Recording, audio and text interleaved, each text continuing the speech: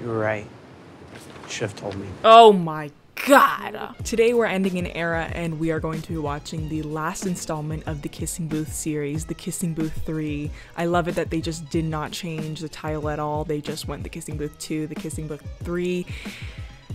I'm hoping we still get a kissing booth in this movie. Without further ado, let's get started. Today's video is sponsored by Raycon. If you guys don't know, I use Raycons all the time. You've seen me use them in practically all my videos. If you guys don't know what Raycons are, Raycons are wireless earbuds that are premium sound quality and they come at about half the price of other audio brands on the market right now. They also come in a wide variety of colors and patterns. Mine are in white and I also have the black pair. These are their everyday earbuds and they have really good bass. They have a noise isolating fit. They're really comfortable and they also have six hours of playtime on a single charge, so you don't have to worry about it dying on you in the middle while you're doing something. I use Raycons when I'm working out or when I'm filming, so it's important to me that my earbuds stay on while I'm doing those things and I wouldn't want them to die in the middle of a workout or while filming. The company was co-founded by Ray J and celebrities like Snoop Dogg and Mike Tyson and Rich the Kid use Raycons. Raycons also have a 45 day free return policy, so you guys can try out Raycons and find out if they're the best fit for you. With Raycon, you don't have to compromise and you don't have to pick between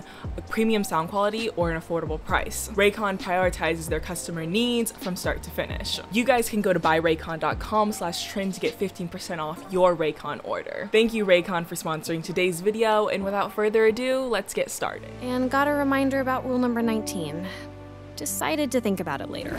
I don't know why in the third movie we're still letting these stupid goddamn rules get in between the two of them. It's like you guys aren't friends if rules like that are gonna But the absolute best was watching the Bay Lights with my favorite two guys in the world. Ew. That just looks like a weird threesome about to happen. Is does Kissing Booth 3 stand for threesome? Anyway. What am I was watching? thinking- I'll be right back. Is this the whole movie setup gonna be? Her deciding between colleges and their beach house getting sold? I'm sorry, I don't really care about people's beach houses getting sold because I don't have one. I do not have one, so I don't feel sympathy for those who have to make that decision. Because if you're rich enough to have a beach house, you don't deserve my sympathy. The next day, I had to pick a school and make one of my two favorite people. this whole thing of her being like i'm not gonna tell them and i'm just gonna like pop a surprise on them and not communicate my feelings with them that i'm having a really hard decision right now is what leads to everything in the first place like we've had three movies of the same plot and the same hardships there's no risk there's no like i know they're gonna end up forgiving her their height difference jacob and joey's height difference is disturbing like it's not cute. I don't think drastic height differences are something to be sought after. They look insane. And the idea this would be our last summer here together. Is this the end of the movie? What the fuck is going on? this seems like the end of the movie. The end of an era. This is this is already closed up. We're wrapped up. The chapter. She chooses both. Knowing her, she's gonna choose both, and she's gonna go in between Berkeley and Harvard throughout the entire semester. Good for her. Why do we care about this fucking house? Like, we've never seen it. We've literally never seen this house. Why do we care that they are having to sell it? Because, first of all, I wouldn't have cared if we had already seen them in it. Second of all, I just don't care. This has no significance to the story. We've never seen them in this beach house. I thought their house was a beach house because it was near a beach. They don't look like at all like them. They did not do a good casting on the child versions of themselves. No. Wait, is that what I? Is that the list of rules? Oh, I, I literally thought that was the list of rules. He and I put together a list of all the I'm not here for another list. The list has led to every single problem in every single movie, and it is the worst thing ever. Your lists suck. All of your lists suck. Hey, can I talk to you for a second? Yeah. Imagine framing a scene between them two. Like, that must fucking suck for the director to have to frame a scene between them and have them both in the same shot. Oh, Jesus Christ. Harvard. Stop,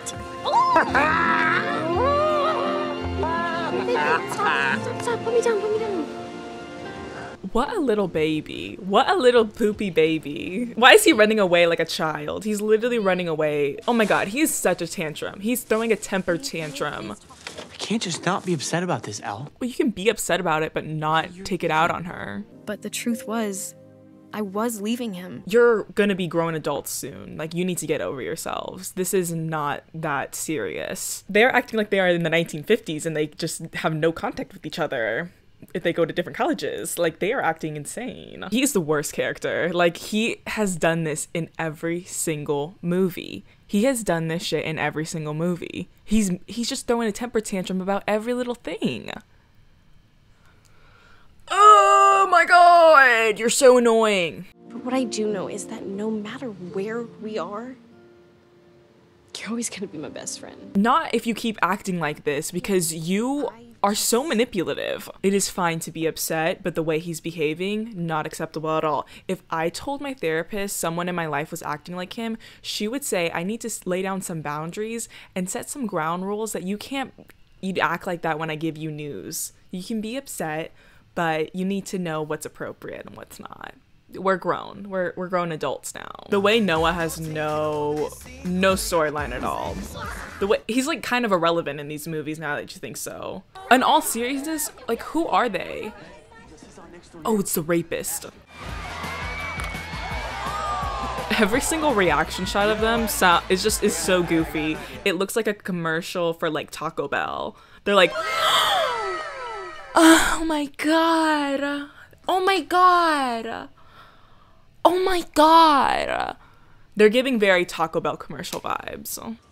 Here we go. One, two, three. Another mont dude, this is we're at like montage number 4 and it's only been 20 19 minutes into the into the movie. It's giving YouTube rewind if I've ever seen one.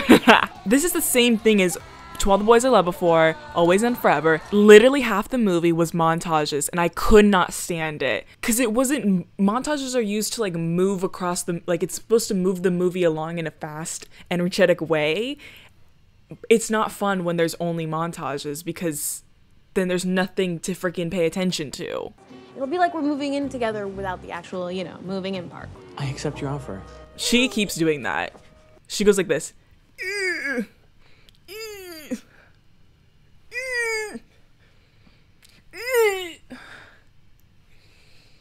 Maybe you should ask her first. No, it's okay. We're in a pretty good place right now. I think we're in a good place because you don't have any character in this movie. Like you're irrelevant to the movie and the relationship as well, so she doesn't care.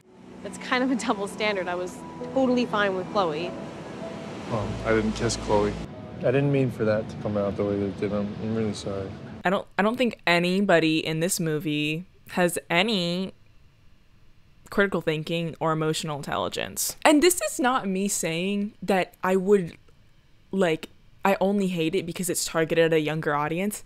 I would have hated this as a child. Like I would have literally hated this when I was a child. There's no way I would have liked it because I just I grew up on different I I grew up different.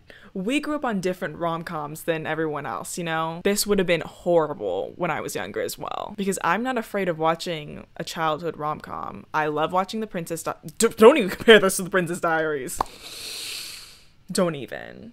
Don't even. But even though I wanted to be with Noah so badly, I couldn't help wondering if I should have chosen Berkeley with Lee instead. Oh my god. Oh my god. You guys are insufferable in this movie.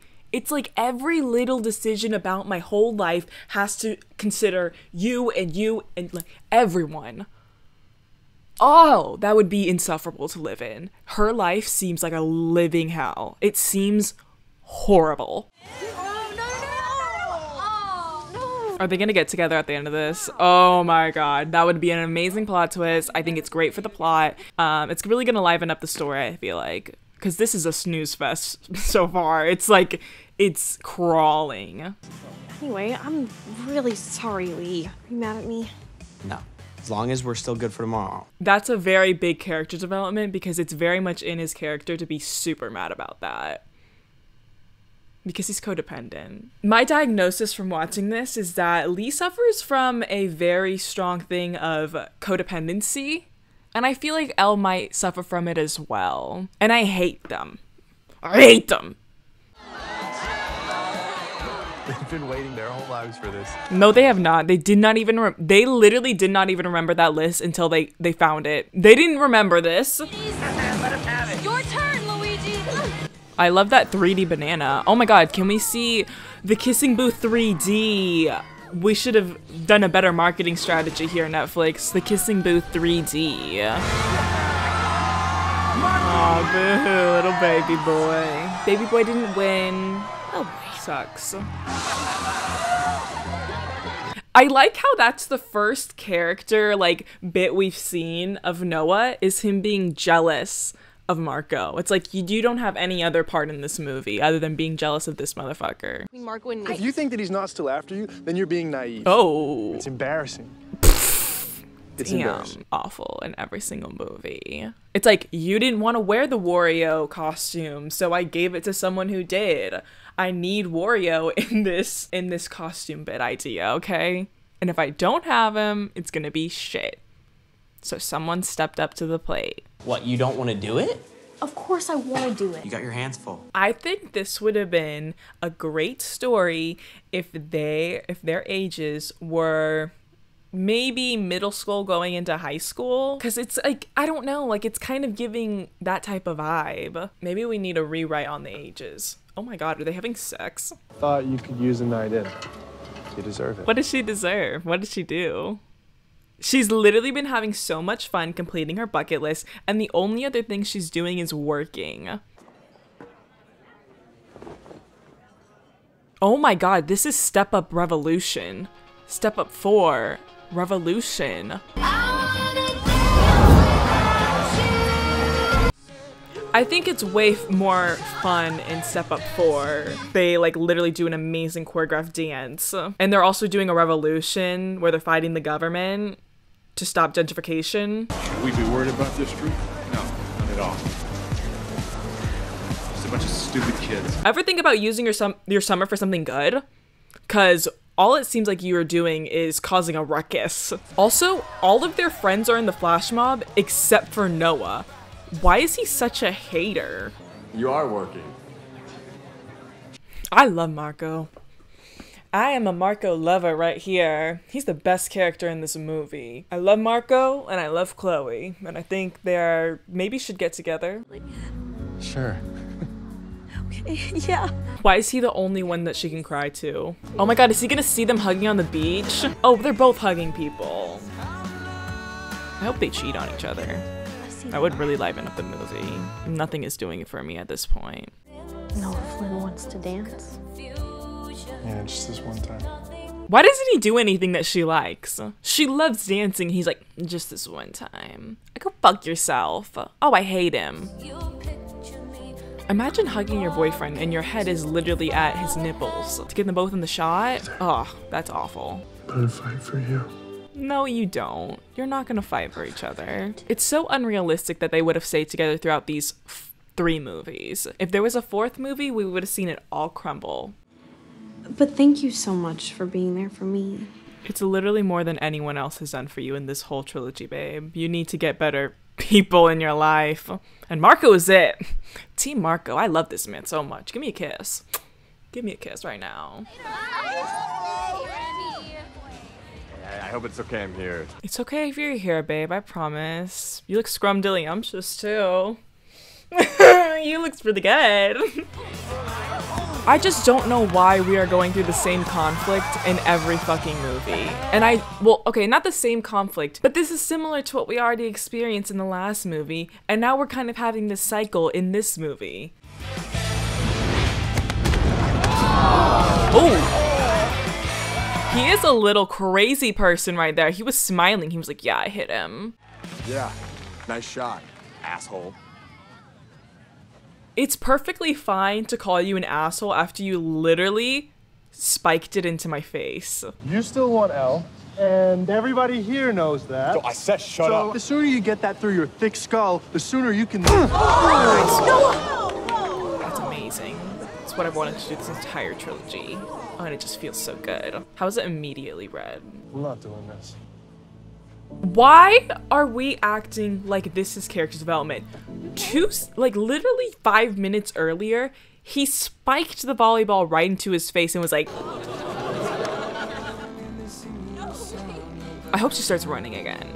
Oh, I would love a callback to the first movie where she's running. I cannot believe that you just did that. He, he was pushing me. I, I didn't know what to do. I don't care. I think it's perfectly fine. He was literally being like, look at this guy, look at this stupid loser.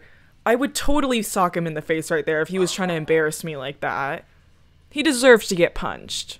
Well, I'm sorry, Dad. I'm. She can't just like walk into our lives and be all part of it like she's just been here the whole time. Just like not what she was doing. Linda, you don't belong here. Oh, that was a racist statement. I know people say it a lot of times in different contexts, but it just seems like such a racially motivated se- sentence. Oh, yo, Elle's a bitch. I don't like Elle. I just think it's selfish of you to even be doing it. Selfish. Yes. You're a little whore.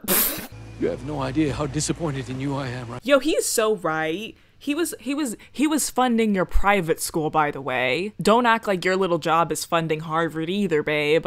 Don't act like it, and don't act like you're getting any scholarships either.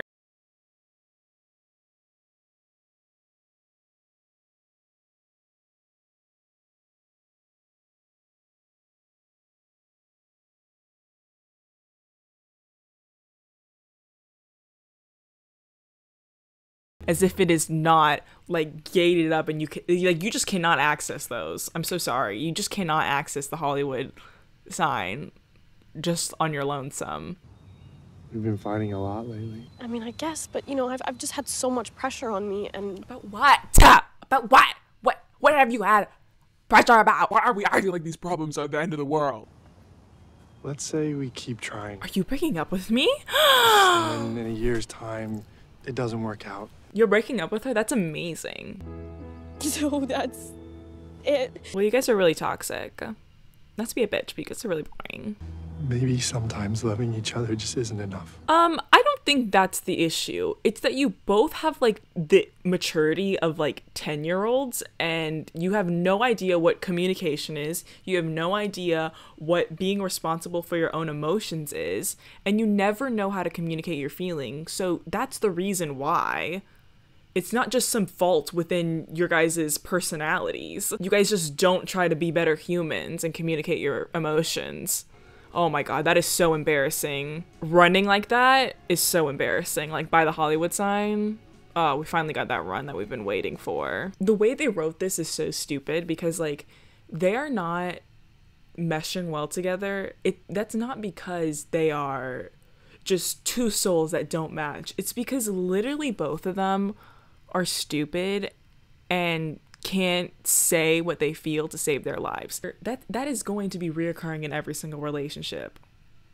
I'm not saying that they're good together. I'm not saying that I'm a I'm a I'm a Elle and Noah shipper. I could really care less if they're together or not, and I'm actually kind of happy. This was the most interesting scene in the movie that they broke up. That was that we should have started there. That would have been amazing. Also, he like keeps saying like I'm not trying to be responsible for your decision. It's like okay, that's a you problem. And also, it's a her problem if she's making you feel responsible for that, which we don't know because we haven't seen her regret it and then put the blame on him. So, you know.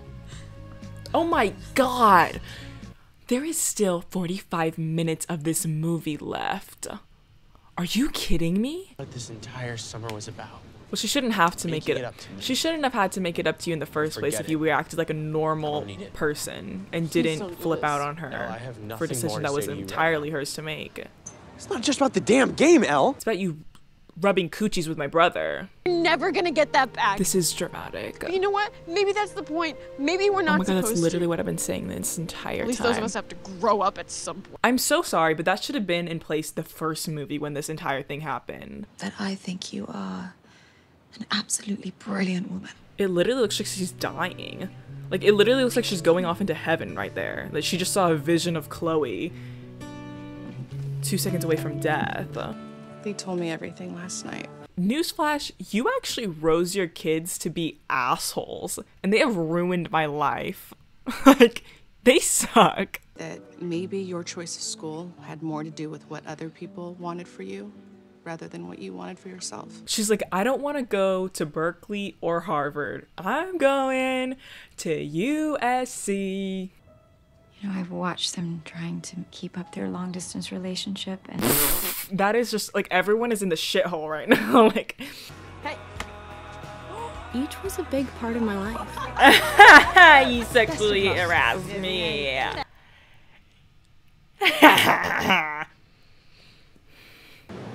You were right. Should have told me. oh my god. I, uh, I heard about you and Noah. So then come to Berkeley with me. It's worth a shot. He's so selfish. He's so selfish. He's so stupid. He's like, oh, so you broke up with Noah? Come to Berkeley with me. I just got broken up with. I think we should get together. Are they gonna get together at the end of this movie? That's insane. That would be a major plot twist. They're both single now. They might as well. But then they could build a whole nother movie off of Noah being jealous over Lee and Elle. I forgot his name. So, um, you know where you want to go? She's like, I'm taking a gap year. After all this, she takes a gap year. She goes in between Berkeley and Harvard. Why was I. I said that as a joke. I said USC as a joke. I didn't actually mean it. She wants to do video game design. Oh, what a loser. I don't know why I said that. I just want to hate her. I'm just a hater about everything. The only thing she ever really needed from you was. Was for you to love her. And you couldn't even do that, loser. You couldn't even do that. You couldn't even just love her. You had to be a little dick about everything and be so selfish all the time. Literally, both of you guys are trash. Like, literally trash brothers. Like, no wonder you guys act literally the same. Your parents raised, rose you to be bitches. You suck. What you need is therapy. With all that money and you're not getting therapy, that's embarrassing. I wish I could have taken a nap while watching this movie. This looks like the beginning of the movie. The same thing that they were doing at the beginning of the movie where they're like reminiscing over the beach house that we had no recollection of. Like we had never seen this beach house before and they were like, oh my god. It's the same thing. It's the same scene except she's alone. They got individual cakes? What the fuck? This is exactly like the last episode of Hannah Montana. I added a new one. Rule number 35. Always call your bestie every time you miss them. 35 rules and it literally ruined your friendship like 10 times. Like, dude, it's a shitty list. I'll tell you that. It's a shitty list if it almost ruined your friendship like five times in like one movie. Each movie, it's like torn their friendship apart like five times. Oh my god, she looks scary. Oh my god. That was literally terrifying. Ew! This is really scary. This is not cool. It looks like he's gonna like reverse into them and run them all over. Six years later, she looks, um, like Ellen. The kids at school were still using the kissing booth. Why do they act like they invented the kissing booth? Like kissing booths already existed. They're a very normal, normal thing to have at fairs. He Again. looks like Christian Bale in American Psycho. I'm gonna go. Okay. That is Okay. so Alright. awkward. I hate that. I hate this interaction more than Okay. if they were like in an argument. She was crying her eyes out right now. Bye. Ew, she sound she looks insane chuckling to herself right now. And this looks very Hallmark. You're giving Hallmark right now, for sure. The like extreme out of focus the background is on her is giving Hallmark. Every kiss begins with K. It's giving Kay's commercial vibes, you know what I mean? I've seen the paths that you. This is the longest goodbye I've ever seen in my entire life. It, they are giggling like insanely, like an, an insane amount of giggling is going on, and it's so long. It's so long. They styled her to look like a grandma. Like I don't know why they styled her like that. Like she doesn't look like a businesswoman in her twenties, early twenties. She looks like grandma. Oh, I'm so upset by this. This is so boring too. By the way, like the most interesting part of this movie is when they were breaking up. It's been a snooze fest since then. I think the author was giving us what needed to be given in the first movie. Now I look back on the first movie and I'm like, wow, that was like actually really good. This is this was only two hours and it felt like a million fucking years. Um, this was the worst out of all three. Like in the last two, like it was kind of like fun, it was kind of quirky, it was kind of whatever. They should have just ended on last one where she accepted a college that she was gonna get into and then moved on and they like she goes to Harvard with Noah or whatever and she lives her codependent life being codependent with both these boys having both people rely on her for their own emotional stability. You know, she that should have been the end of the movie because I don't know what this is. This was so drawn out. This was like the most drawn out movie I've ever like seen in my entire life. They did freaking third. They did an hour of crap. They did an hour of filler to get to their main point. We had this them cycle through the whole fucking Marco jealousy thing, which we already saw in the last movie. We had the Lee being a little bitch about the rules thing fucking the whole movie. It's like we already had the thing of the last movie where Marco was like, "Okay, you I'm the second lead. I get it. Like I get it. I'm living the second lead life." Like they were just going in circles when writing this. Like they were saying yes to every single idea and they were incorporating it all. Like there should have been probably 30 minutes of this movie cut. It's like I'm in a toxic relationship with a movie. It's like they just keep doing the same thing to me every single time, even though I beg them to change. They just keep doing. They like they're like sorry, I'm not gonna do that again, and then they continue to do it. Like that's how I feel. I feel like I'm in a toxic relationship with these movies, and I wish I didn't have to watch them I don't have to watch them. This is a choice I made. This is my choice, my responsibility. I'm just, oh my God. I could go on for days about how much I hate this. And like, I know I'm taking it very seriously. It's the Kissing Booth 3. I don't know what I was expecting. Um, but I really do hate it with a burning passion. Like with my entire my entire heart, I hate it so much.